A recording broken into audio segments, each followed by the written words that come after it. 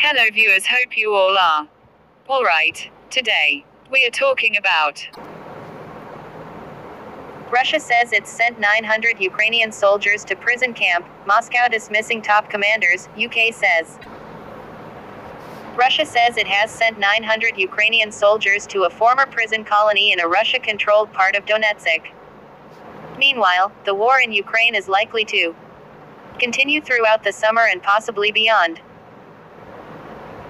Despite signs that parts of the country are returning to some normalcy, Ukraine's presidential advisor Oleksiy Arestovich said, It is quite clear to me that this war is unlikely to end by the fall, Arestovich said on It comes as President Volodymyr Zelensky seeks to extend martial law for another 90 days.